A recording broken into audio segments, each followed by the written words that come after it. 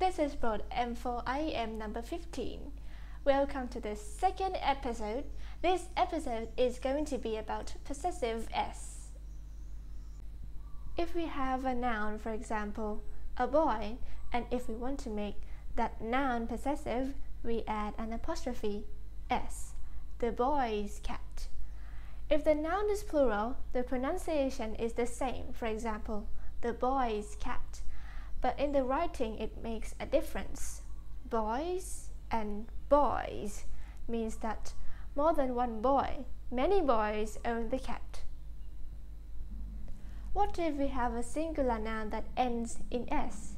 Well, we can just put an apostrophe and s, but it is more common that you put an apostrophe. For example, the Jones family, I could say the Joneses house, which is grammatically correct, or I could say the Jones house, which is more common. These two are grammatically correct and mean the same thing. What if we have a plural noun that doesn't end with an s? Or it is called an irregular noun. For example, women, men, children, people, mice. These are nouns that don't end with an S because it is irregular. For example, women is plural. How to make it possessive? Very easy. Just add apostrophe S. The women's clothes means that more than one woman owns the clothes. The men's shoes means that more than one man owns the shoes. The children's toys. Remember, one child, two children, ten children. Many children own many toys. The mice's food. Remember, one mouse, two mice, one hundred mice. We only say mices to make it possessive. People.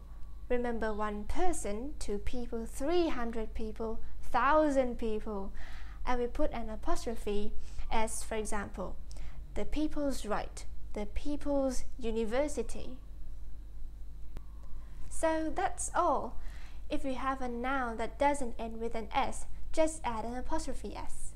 If we have a plural noun that ends with an S, just add an apostrophe. How about a singular noun that ends with an S? Just add an apostrophe, or you can add both apostrophe and S. If we have a plural noun that doesn't end with S or an irregular noun. For example, women, men, mice, people. Just add an apostrophe s. These are the basic of possessive noun. Thank you for watching. If you like, please subscribe our channel. Goodbye.